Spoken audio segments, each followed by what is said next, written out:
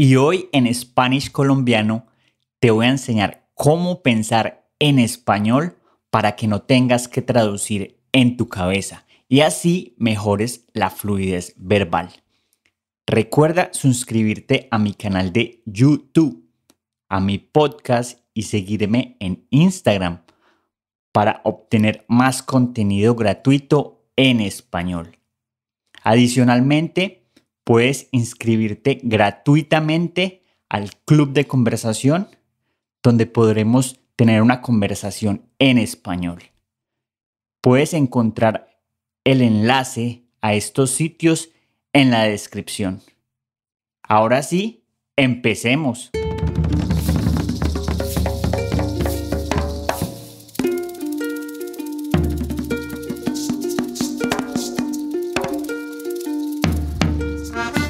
Bienvenidos a Spanish Colombiano. Mi objetivo aquí es enseñarles español mientras conocen la cultura colombiana. Ya sea que quieran hablar español como nosotros los colombianos o simplemente conocer nuestra cultura, han llegado al lugar correcto. Yo soy Jorge. No soy profesor, no soy tutor, simplemente un amigo colombiano. Entonces, sírvanse un cafecito con leche, acompáñenlo con buñuelo, relájense y disfruten Spanish colombiano.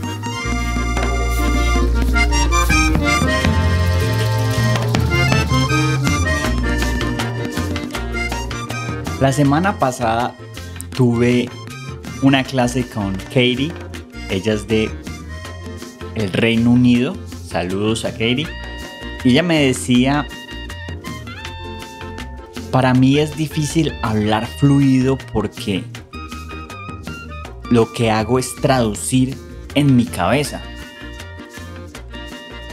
Lo que pasa al traducir en la cabeza es que toma mucho tiempo y la gente con la que está hablando se vuelve impaciente. Aparte de esto, cuando traduces en tu cabeza, no estás seguro de lo que dices. Y los que te están escuchando no están seguros si tú estás entendiendo lo que ellos dijeron. Además, en español tenemos muchos dichos y modismos que son imposibles de traducir. Entonces empecemos con los trucos y los consejos que les voy a dar para que piensen en español. Número uno, no traducir, asociar. Esto es un error muy común. En las escuelas nos enseñan con traducciones. Por ejemplo, uno es one. Dos es two. Y nosotros tendemos a traducir. Pero lo que realmente debemos hacer es asociar las palabras con objetos o situaciones. Por ejemplo, si yo pienso en una cerveza, yo no digo beer, cerveza, yo pienso en la cerveza. Y si digo, por ejemplo, jugar, yo no lo traduzco, yo no pienso en la palabra en mi idioma. Yo me imagino, por ejemplo, jugando cartas. Entonces, ese es el primer consejo. No traducir, sino asociar. Número dos, involucra tu español en tu rutina diaria. ¿Cómo haces esto? Por ejemplo, si vas al gimnasio, escucha música latina. Puedes escuchar reggaetón, salsa, bachata. También si te gusta ver Netflix, puedes ver series en Netflix en español como La Casa de Papel, Narcos o documentales. En tu teléfono si lo tienes en tu idioma, cámbialo a español. Lo mismo con tu computador. Cambia el idioma y así cada día vas a aprender algo nuevo en español. Y por ejemplo, si tienes un perro, en vez de decirle en tu idioma, por ejemplo en inglés, come here, le puedes decir en español, ven acá. Y así pequeñas palabras que te vayan a ayudar a mejorar tu español. Número 3. Escucha español de manera pasiva. Para mí, esta es la clave para la fluidez. Yo lo he dicho mucho acá, pero se lo repito, esta es la clave. Y esta es la actividad favorita que yo realizo para mejorar mi fluidez en inglés. Lo bueno es que no necesariamente consume tiempo. Tú lo puedes hacer en los tiempos muertos. Por ejemplo, cuando lavas la ropa, cuando cocinas, cuando estás limpiando, cuando sacas al perro a caminar o incluso cuando vas camino al trabajo. Lo que debes hacer es escuchar podcast en español. Puede ser Spanish colombiano, puede ser un podcast de noticias en español, cualquier podcast, pero que sea en español. Así vas a aprender pasivamente, reforzar el vocabulario que ya sabes y también vas a ser consciente de las estructuras que se utilizan en español. Número 4. Esta es muy buena. Predice lo que la gente va a decir. ¿De qué se trata esto, muchachos? Por ejemplo, ustedes pueden ver un video de Tech Talks o otro tipo de charlas en español y ellos usan muchas palabras parecidas en estas charlas. Y lo que tú debes tratar de hacer es adivinar lo que ellos van a decir. Por ejemplo, si estás hablando de cambio climático, ellos van a utilizar frases como una solución para el cambio climático son los carros eléctricos. Otra solución es plantar un árbol. Trata de predecir lo que ellos van a decir. Número 5. Deja de usar diccionarios con traducciones. Trata de usar diccionarios en español, con palabras en español y significado en español.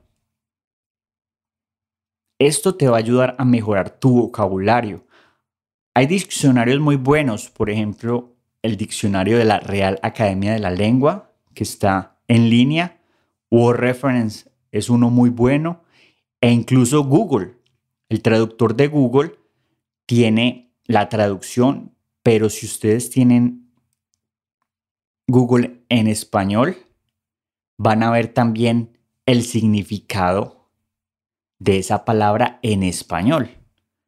Por ejemplo, si ustedes buscan la palabra casa, en inglés house, pero si ustedes van a lo que dice el significado en español, va a decir construcción cubierta a ser habitada.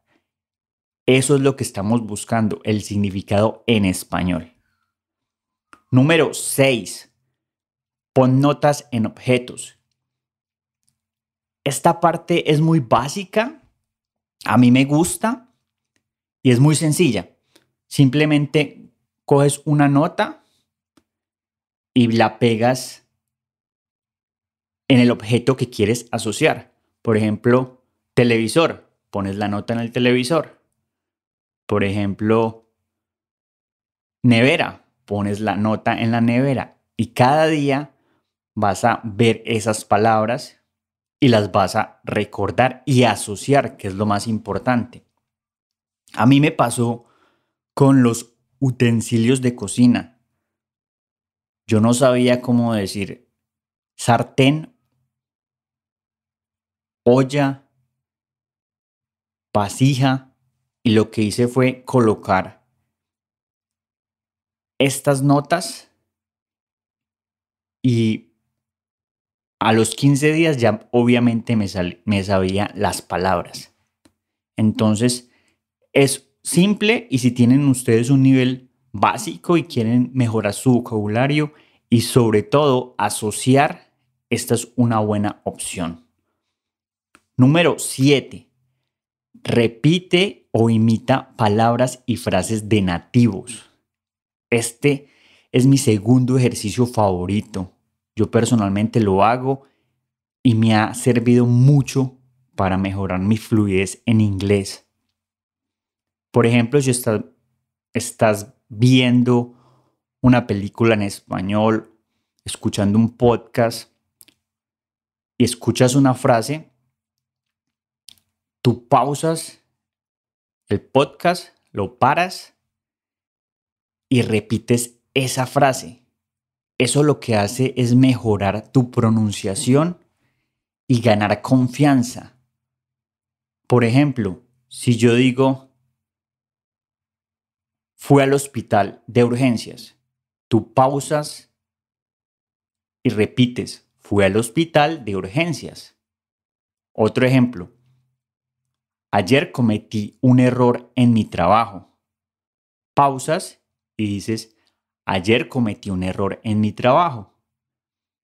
Y son este tipo de frases que son muy comunes, que uno siempre repite, que son buenas para tener en tu repertorio.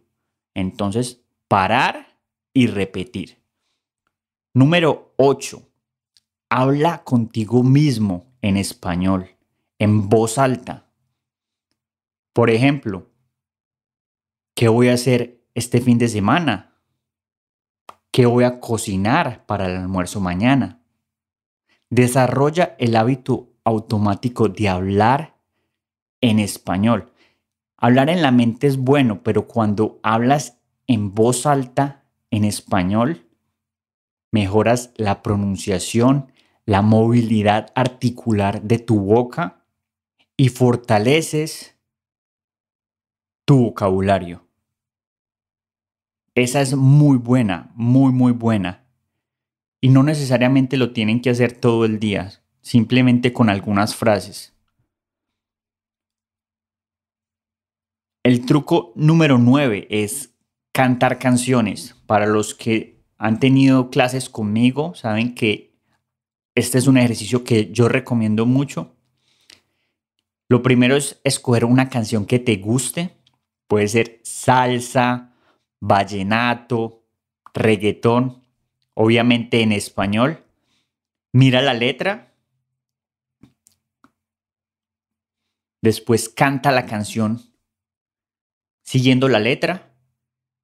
Y ya después coloca esta canción en tu celular y la cantas cuando estés haciendo aseo o caminando o vayas en tu carro.